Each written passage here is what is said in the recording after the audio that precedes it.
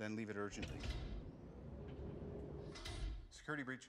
It's on you. Mr. Stark, Phil, come in. Phil. I can't stay. Uh, his first name is Agent, Come on in. We're celebrating. which is why he can't stay.